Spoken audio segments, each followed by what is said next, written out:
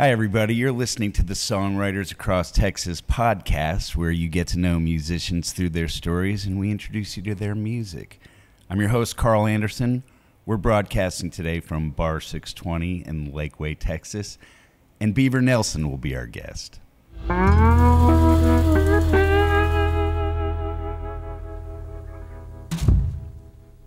Beaver Nelson gravitated from Houston, Texas to Austin, Texas in 1989 and immediately fell in with the songwriting community.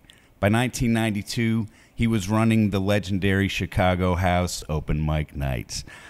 Today, he can be found every Saturday at the Continental Club Gallery from 8:30 to 10. Beaver Nelson is our guest today. Welcome, Beaver.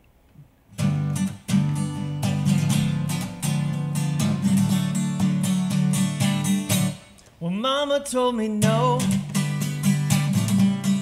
Daddy told me so. Said that way only goes to tighten hood. I heard there's water in the hole. Deeper down you go. But I just gotta know. A drop from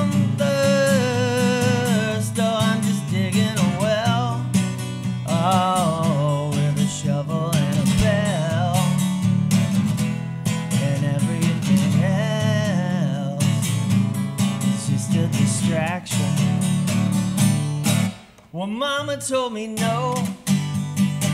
Yes, and Daddy told me so. He said, Watch out for the snow. Clouds don't rest, so I put on my working pants. Grab my shovel for the dance. Said the secret of the chance. It's long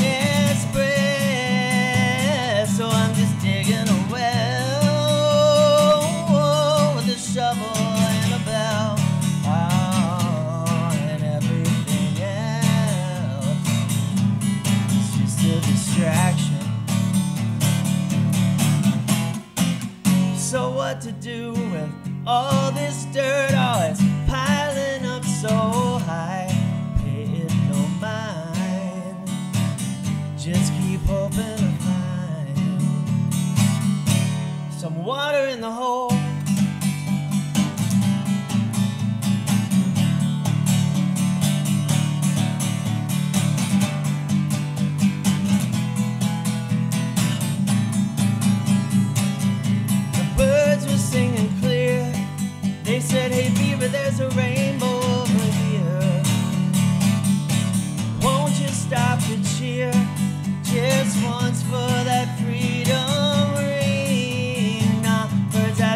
To shovel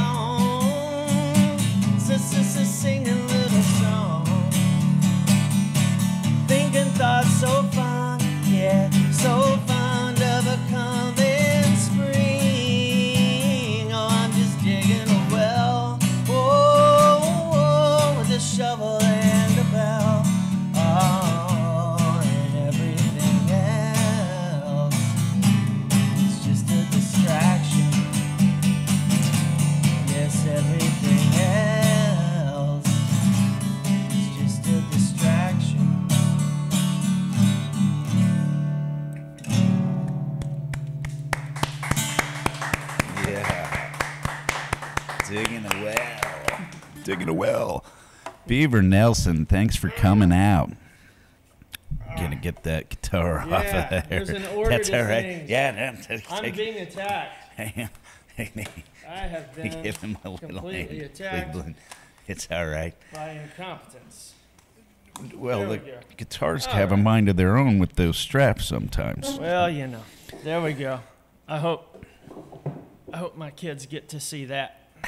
You wrestling around with the strap. Yeah, they'll be most proud. What? Uh, how are you today? Doing all right. Good. Doing all right. Good. You? I'm fine, thanks. Yes. Uh, you said that you wrote that song uh, just a few years ago. That was probably that was actually my middle period. That The was middle. probably that was that came out on a record Uh, probably 2002, 2002 or three, somewhere Right. in there. Yep, Yeah. and written right around then. Right. That we, I, in- the introduction, I let folks know that you, you came uh, up to, you started coming up to Austin uh, in about 1989 uh, from Houston with music, and, and I'd like to get those words from your mouth and not mine. I had a friend who's several years older uh, than I am uh, from uh, summer camp, and he was playing. He was he.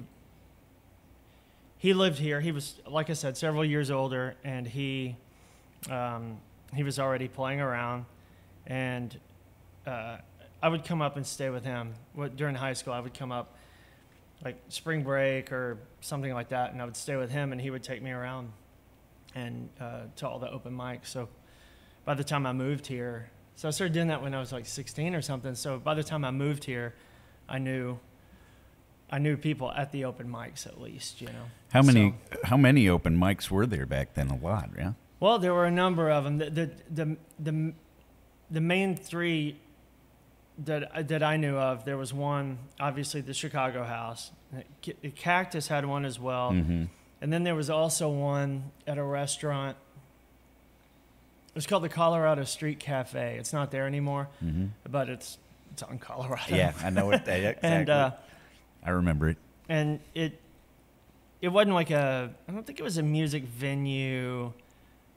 I don't recall it being like a stage as as much as like part of the restaurant a few nights a week, you know, had had music and, you know, open mics. I mean, they're they're great for those scenes because you get lots of people going in, you know, to play there.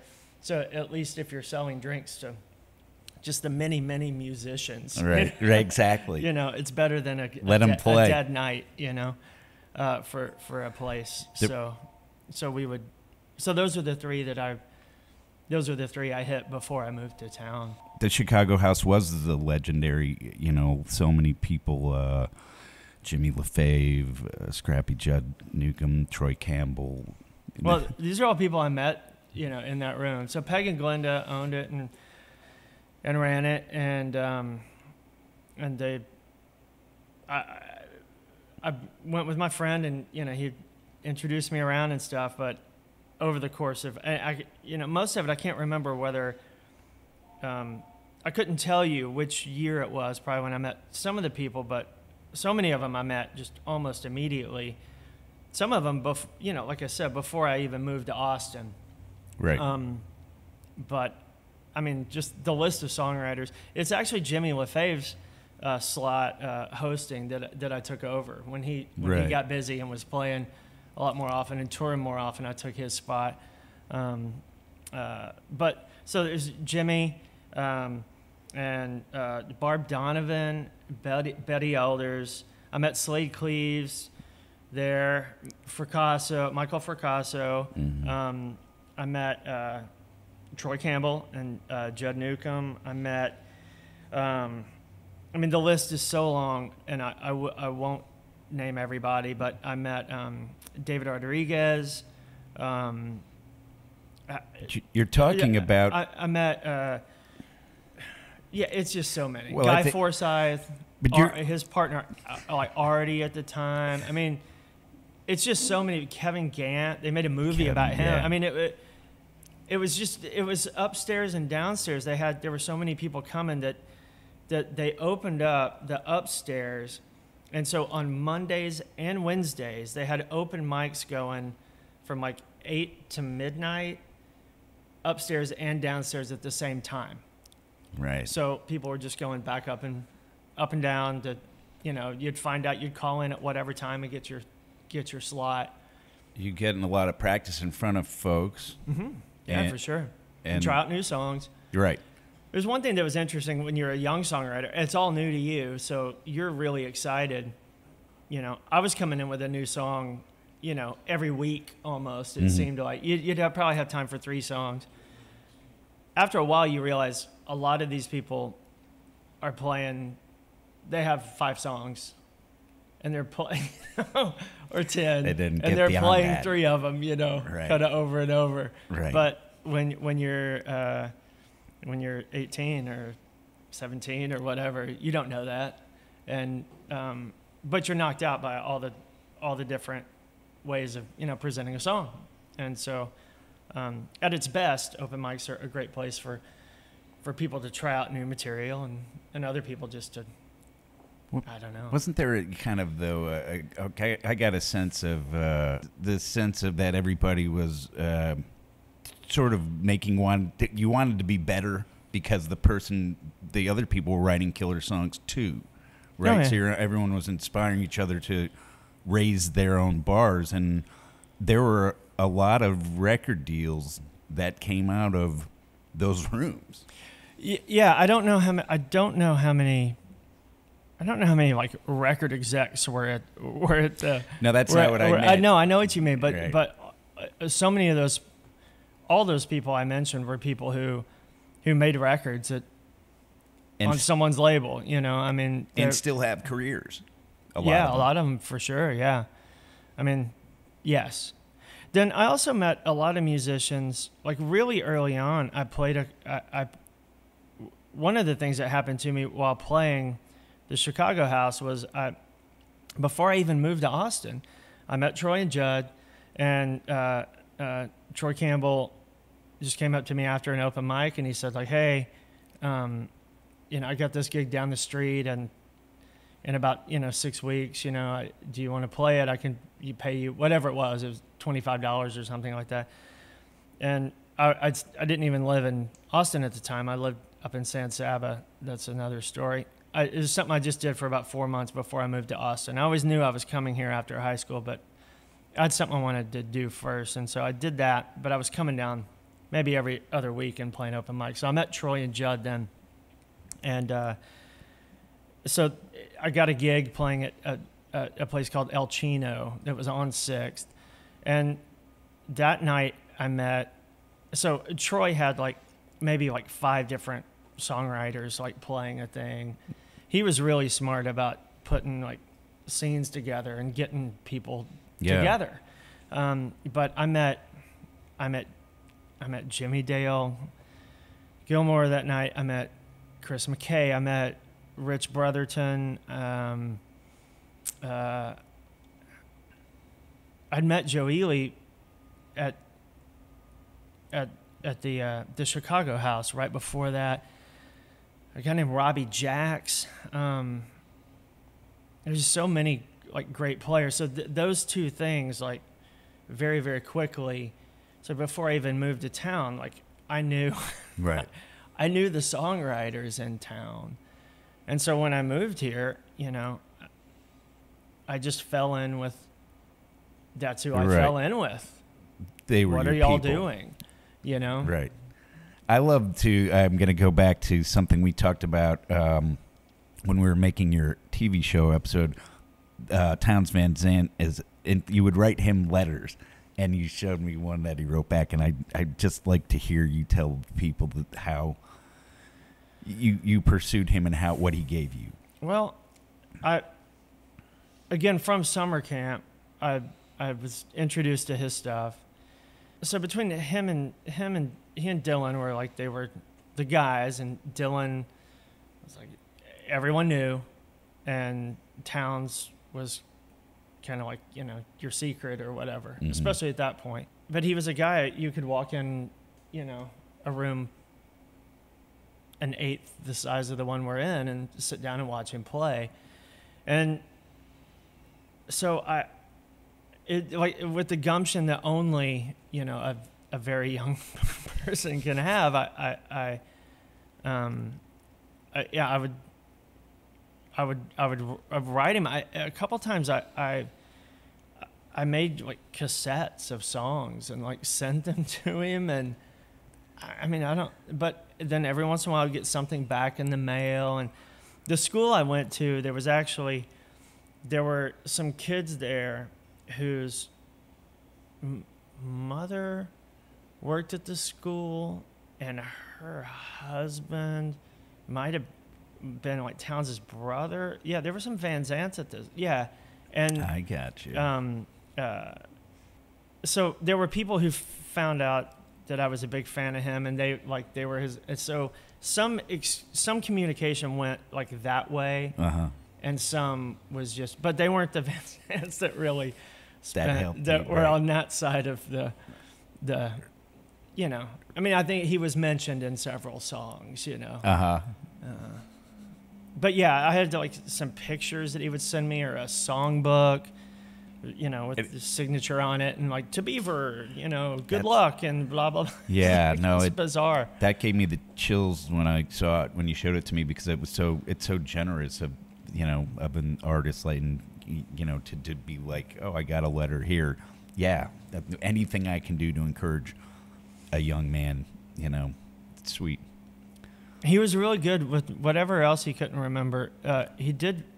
He was very good with remembering people's names, Uh-huh. and he was he was very nice. Uh, he was just he was always nice to me. You know, I mean, you you- can't say like you really, especially being that much younger. It's it's not like I got to know Townes. sure You know. but you get to carry on tradition do you Yeah. look at it like that because I do I mean I think you know I hear people tell me about the 80s here you know and uh, what it was like uh, how the musicians gathered uh, and we were the next generation right Yeah, sure. And as far, I mean, as far as like you know, carrying on the tradition or whatever, I, I still I, yeah. So I like you mentioned, I play the Continental Gallery every Saturday, and Yeah. halfway through the show, I do a different town song. nice So you know, it's up into the 40s the number of songs I've I've pulled off, and some better than others, but cool but I always I always do one right in the middle, and um, yeah, just that's great the thing. It's a segment. it's a segment It's a segment. now we're doing the Townsville segment Uh, Townes time. great uh, hey can we hear another song Sure, absolutely. All right. This is a fairly new one, yes? Yeah, it's called uh, "A Friend from Out of Town." It'll be the first, the first song on, on my new record.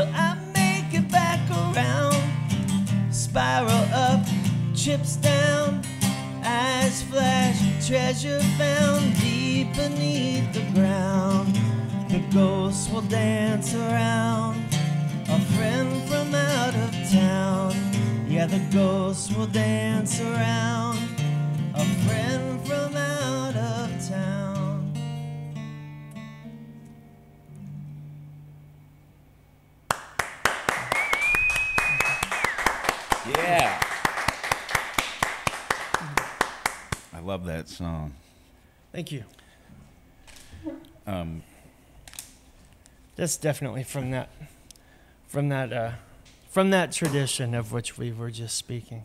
exactly. Yeah. And I I think too that it, it it's uh it makes me it makes me think a little bit of like traffic uh, Stevie Winwood uh, that John Barleycorn that it has a similar feeling or sen- sentiment or something I don't know that I love. I've listened to that record a million times, but it's it's evocative and it's a little haunting maybe. The ghosts will dance around. and the ghosts will dance around. I guess I got it. Anyway, uh, Beaver Nelson is in the house. Um, hey man, these mics are sensitive. They are. Let's uh, talk about your uh, songwriting process. Um, you you have uh, a file system. that- yeah, it used to just exist in in a young man's head, you know. But I, I there there are um, g- getting into the subject matter through through r- ruling out certain uh, uh, ways of writing. There are the people, you know, the the the write every day, write what you know, um, school. Um, I think, in fact, that I heard that that couplet specifically um, from Robert Robert Earl Keen. Um, I think I think that was him. It was write every day, write what you know, um, Mhm. and that certainly has worked for him. And um, and he's a very good writer. Um, and I might could have used more of that. There are time periods uh, when I, um, if I haven't written for a while, if you know, waiting on some spark of inspiration hasn't, you know, I look up and like, well, it's been eight months. Yeah. huh. Um, it you know when I get into those periods of time, then I do. I'll pick a short period of time and make myself right, Mhm. um, and usually that opens things up. Um, but I'm, I've never been, I've never been disciplined in that way, uh, the steady kind of way in writing. The discipline I did have for a long, long time was that if I had an idea, um, I immediately stopped everything. It did not matter. It didn't matter what it was. I stopped and I wrote.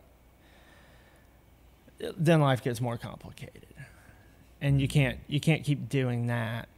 Um, and that's when that's when the the more figurative the the, the ephemeral files, you know, in in my own head when that when they started having to become more more concrete. Like, I mean, it's not that I never wrote anything down earlier. It's just that, uh, you know, I might write an, you know, a, a phrase on a napkin or something, and then, or I might have like a passing, you know, a guitar figure or something like that, and then, but I could remember it all, all the different ones I had that were still in progress. Mhm.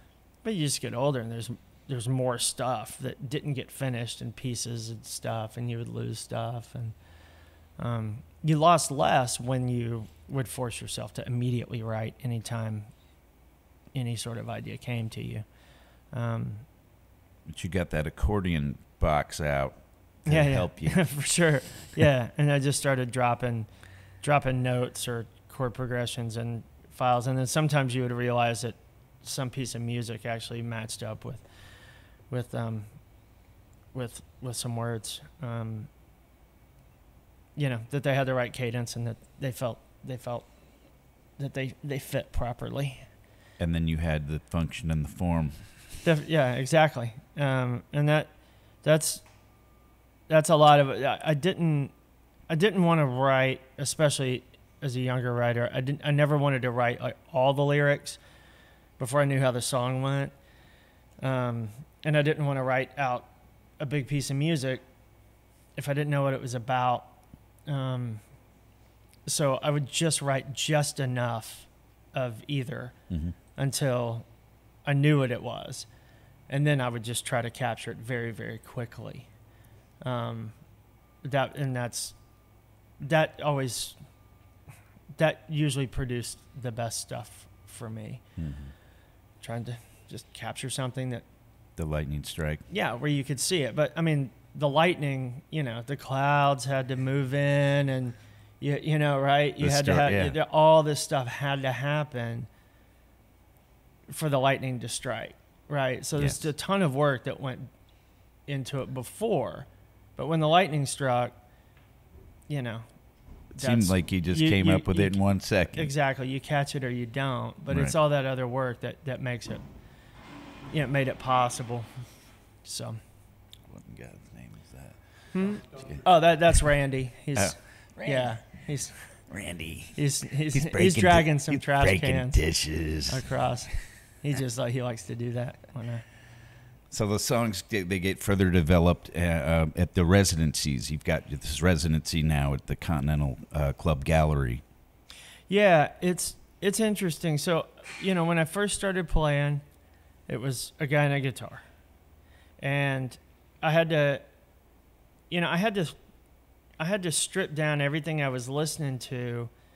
Um, I had to throw out a lot of stuff that actually later I, I was able to reclaim, um, uh, listening to. But I had to get rid of everything that was that that was outside of in, in my mind was the just the essence of a song um, and so it, playing the open mics and then i began you know then as i would play out and i would get gigs and then I, then i would play with bands and i was playing with just just great great players almost immediately. You know i was was playing with Rich Brotherton and Don Harvey and and George Reiff and Scrappy Judd Newcomb and Bukka Allen and Mark Patterson and uh, you know I mean that uh, I'm I'm dropping names but I mean I'm forgetting names as well as mentioning great players Right. um, but like that all happened like so very fast that like a year after taking over the op- the Chicago House Open mic I had to let that go because I was playing I was playing the Black Cat every Wednesday night. You'd play from 11, 11 p.m. to 2 a.m. That was that was the only they wouldn't open the door until 11 p.m. Right. Um, you play three hours with no breaks, and then and that was it. And so there were all kinds of great songwriters. Like Walter Tragert would always come down, Bruce Robison would come down, and it was always great to be able to hand the guitar off and Right. and and so you, you, you could be, you know. But that Uh, was one of the best gigs that you could get. Oh, it was fantastic, and I mean, and so, but like that thing, that was like that was almost made to order. All those players, they they understood the the overall um, the framework of the music I was playing like way better than I did, um, and so I could walk in and, and play a song at, at a rehearsal and walk out and come back in 10 minutes later and then we play the song start to finish. They they they they already they knew. They had all the vocabulary that I mm-hmm. didn't have right?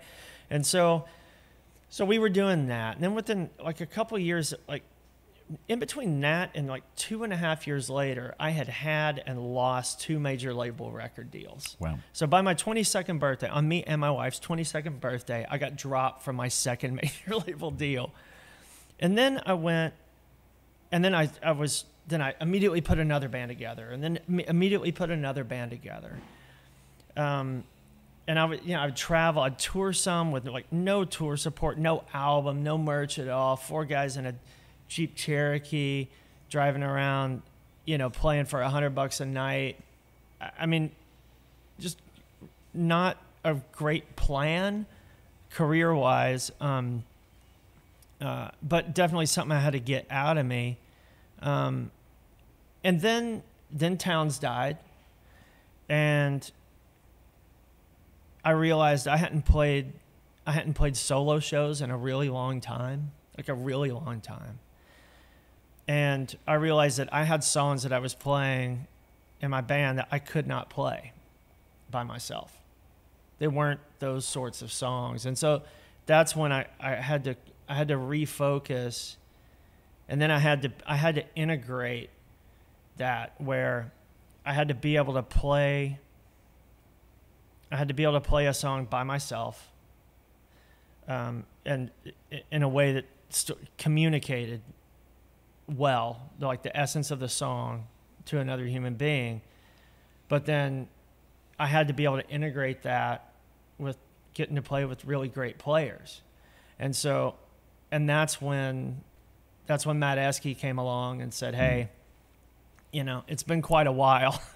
uh, I, I think it's maybe time for the world to get a Beaver Nelson record, Right. Matt Eskey ran uh, Freedom Records, Freedom yeah, Records. yeah. exactly." And so, so we we made we made we made a record there, and that was I think that one came out in '98, um, '97, '98, like right in there, and um, and so from there I I I, I was making uh, yeah I was making records that were that were like charting on like Americana charts and that kind of thing and like doing well. And I had a band and uh, uh, that I was traveling around with at, at various sundry times. It was Scrappy and Mark Patterson and George Reiff and then sometimes then Cornbread took Reiff's place and Bellens Mm-hmm. took over for Patterson, and Patterson came back at one point, and we were we were doing that. We made like we made three records uh, in a row that came out um, pretty in pretty short order, and was touring a decent bit. Um, Getting put- radio play. pushed yeah pushed all my chips into the onto the table for my third record um like there were some missteps along the way with with a, a smaller label. It wasn't freedom but it's but a, a record that my second record came out on because freedom kind of they they they halted putting out new records for for a short period of time. And and so I, I went with another indie, and um, they had said all kinds of stuff that they were going to do that, that didn't get done, and well, their distributor did, and so I just thought, yeah, I don't want to mess with any of this, so I'm gonna I'm gonna push all my chips into the table for this third record. First record, second record, both got radio play and going well, and now I've I really had a good record on my hands, so I was just gonna I was gonna pay the publicist. I was to pay, I wanted to make sure everything got done. I was going to pay radio promotions and all that. And that record came out on September 18th, 2001.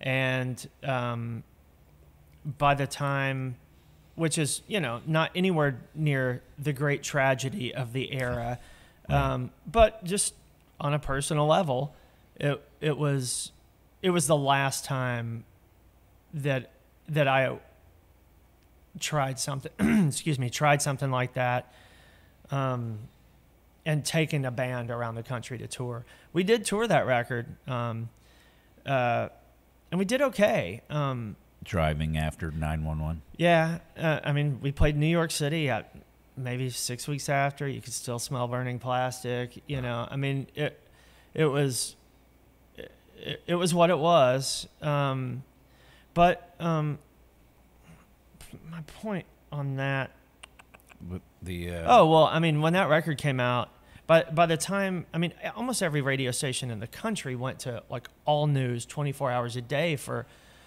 I don't know, a month, six weeks.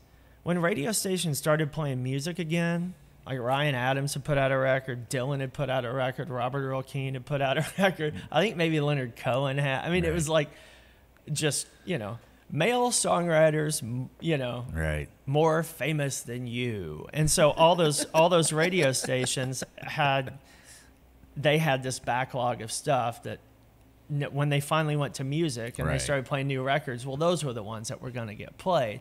Right. And so so that was that. So my point being on this is that even though I continued making records that were full band records, it was around that time, the record that came out after that, that I started touring solo. Mm-hmm. And so the band shows became less and less frequent. and over a long period of time, even though like it was they were great players and killer players, and we made really great sounding records. I we only played I don't know six to eight band shows a year, sometimes four, um, and so my songbook began getting smaller and smaller. It started shrinking. You know, when you're when you're only playing a handful of shows a year, Uh-huh. you're not whipping out all these songs left and right. Right. So the, the why, why I'm telling you all that is to say that when that eventually pared down, uh, Mike Middleton had taken over the, the the drumming in the band. I said had taken over. I don't. He didn't kill anybody or anything. um, but when when, when he became the drummer in the band, and then it, it- everything kind of pared down, and it was almost like on a lark. Like uh, Matt had to miss a run of shows. Matt Esky had to miss a run of shows, and Mike and I were like, let's just play them anyway, and we did. And then I realized, wait, this could be really great because I'm the only one that's got to know how the song goes, and so, so, you know, I played a few songs I hadn't played in years because I had changed keys and all that kind of stuff, and and so then when when the Continental residency came along, and it was like, okay, here's the chance now, because I'm going to play 90 minutes every week, and I do not want to play the same 90 minutes every week. So I was bringing in, especially like the first year I was doing it, I'd show up with three songs I hadn't played in 10 years, like every time until I had, I basically I had almost my entire songbook back. Um, and so now that's, well, then COVID hit, and then uh, then I lost the use of my left arm for about six months, and and then Oh, wait, uh, that wasn't fun. that- well, I mean, it was crazy. It was just the the same week it rolled in. I had uh, I I played I played my Continental show upstairs. I went downstairs. I watched uh, Charlie Sexton sit in with Chuck Prophet for an hour. I went home. I got up. I read an email saying, as of tonight, the Continental Club will be closed for the foreseeable future. Um, and then by the next Friday, I couldn't move my left arm. And uh, it's just a long story, but it was a problem up in my neck, and it had completely, completely shut down. It atrophied my muscles, and I thought I had like a rotator cuff problem, so I was kind of ignoring it. Um, uh, and just figured I'd push it off until I didn't have as much going on, you know. But I can't paint houses or coach goalkeepers or play my weekly show at the Continental if I have a rotator cuff surgery. And it wasn't like I was going to make it worse doing any of those things. So I just ignored it. But it wasn't in the shoulder at all. It was up in the neck. And so everything had atrophied. Then the then the, the disc herniated, and I, I couldn't move my arm. I mean, it was complete 100% dead weight. And so um, I got dropped off at the hospital, and it was a crazy story, a long story that I won't tell here. But eventually, I got worked on, and um, it it took months and months for me to be able to bend my arm at the elbow, Wow. to be able to lift it at all, like out to the side. It was, but you know, the world had shut down, so I couldn't do any of those things anyway. So um, I rehabbed the arm like crazy. Um, my son would go work with me when when I was able to start working again, so I could work one handed. He was furloughed from his job, so I'd work one handed, and he would he would do the stuff I couldn't do with my right. And I had about three or four months uh, to rehab it to get to where I could work when he when he uh, went off to school, um, which is what happened. I was able to, um, and so some friends were patient with some projects. They took a little longer, but um, I was able to rehab my arm, um, and so I began writing again. Um, I didn't have the gigs, so I wasn't working on. I wasn't going to sit around and play the old songs. So I wrote an entire record, um, and I recorded it uh, at my friend Matt Giles' house, uh, who had been in one of those bands in like '95 when we were traveling around with Okay. no with no money, right? Matty Um, Giles. Yeah, he's he's he's a great player and a, a very good friend. I saw him this morning. Nice. Um, Matt. yeah, and uh, so, um, so we recorded that record, and still everything was shut down. And around when we got done with that record, then it's like, well, Continental's gonna open up next month, you know. And so then I had to. uh, Now I had to go back and relearn, you know, e- eight or nine albums worth of songs, you know, just the ones that had been I had just kind of gotten a hold of, you know. So then relearned them and and um and and that's what happened. So so here we are again. I'm just about at the point now where I've got I've got almost the whole song back. back, and and we never know what we're gonna play. Uh, when when That's when, when we step up to step up when we get on I can't even call it on stage when we get on floor when we get behind microphone. Um, Getting the batter's box. yeah, exactly. It's it's uh it's wonderful and it's a it's a great place and so it's it's really valuable. Um, you know, every show is is a is one of one, and uh, and it's The audiences are really cool in Austin for residencies. I've found over the years, you know that, it, and I I've always gone to them. You know, Yeah. I've always known people that were in one, and then Sure. I've seen a bunch of shows. Um, I it, but they, what always amazes me is the the variety you get. That it's never the same when people do that. yeah, and that takes a lot of work. Right. That takes a lot of work to not for to not get stale. Um, yeah, I tried a couple when I was younger, uh, when I just didn't have as as many songs, and it's hard. It, it's hard to, for everyone to be different, you know. But uh, I also was really uncomfortable, especially on stage with the band. Um, I was not very good at talking on stage. I was, I could do it okay when I played solo. Um, unless I was in one of those moods where you just turn in and it's all about you but but this is just brought it's a it's brought a different part of of me um, it's forced it but it's it's more like a house concert and that Mhm. you're not on a stage you know it's Mhm. eye to eye um, Yeah, I would put it that way. you know, and it's it's me and a drummer, except on the odd occasion when when he's when he can't play and I play solo, which, you know, I'm perfectly capable right. of doing. All right, so and those shows are fun for different reasons too. So we're um, we're really enjoying it. Um, I'm hoping in the in the future. Uh, I haven't nailed it down yet, but I'm hoping to record a live record. I've I've never made a live record before. Um, I tried to do one after the fact one time, um, but it, it we didn't quite get the sounds that we wanted. Um,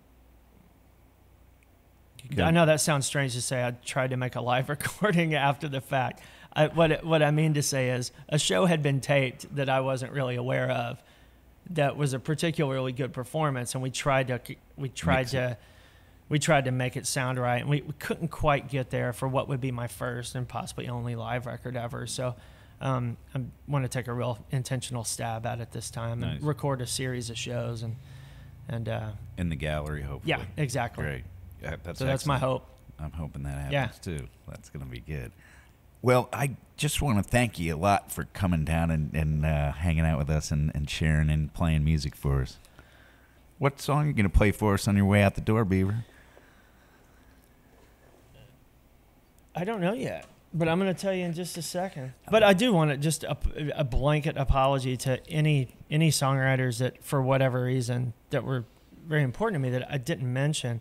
I will say I was in a I was in a song swap uh, that went on for several years with me and Michael Fracasso and Matt the electrician and Nathan Hamilton, and um, and that was great.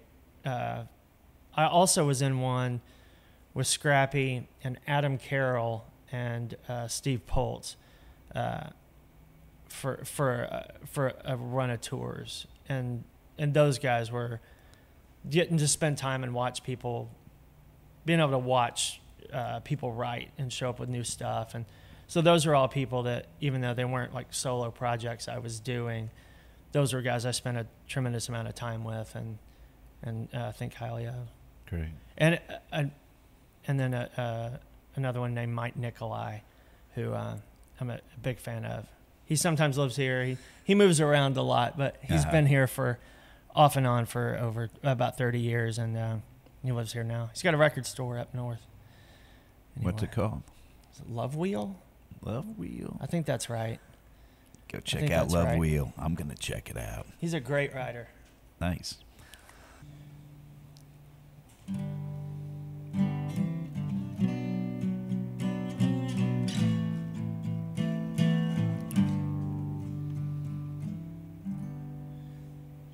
Figure on pain and the occasional rain. Three strikes will remain, never part of the game. Fixed in your mind at the most inopportune time, traveling down your spine to limbs intertwined. So just do it already. You know you're going to.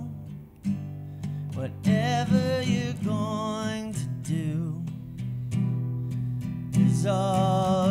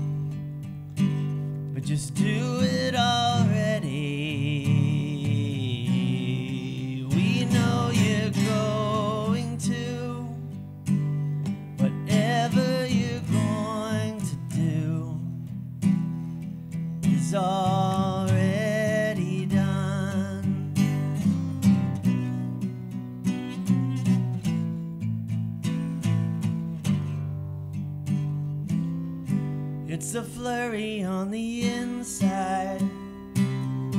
It's a jury on the outside. It's a worry and it's worldwide. It's a hurry at the high tide. Yeah, it's a flurry on the inside. It's a jury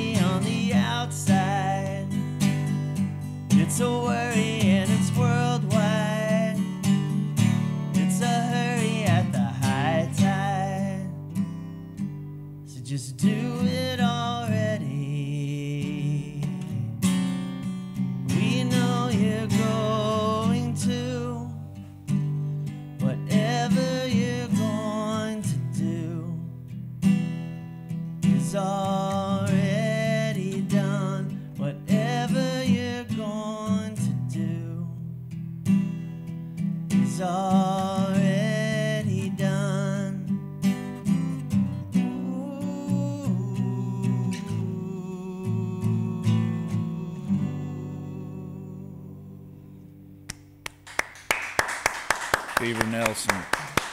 Again. Oh, hey, one quick shout out. Shirt, who who made your shirt? Oh, this is uh, by my neighbor Rita Banninger, and uh, she uh, she finds shirts and she she sews things on the pockets, and uh, I'm a, I'm I'm a fan, and so that's a, a Rita Rita Banninger Rita classic right Banninger. there. She makes me shirts with chickens on it. All right. Well, it's a good looking chicken shirt. I like it. Thank you. Um, okay, well, thanks again for listening. That was Beaver Nelson on Songwriters Across Texas podcast. Uh, you can see him at the Continental Gallery on Saturdays at eight thirty in Austin. And uh, if you haven't seen his TV show, the Songwriters Across Texas TV episode we made, please go to the YouTube channel and check that out. Thanks again for watching.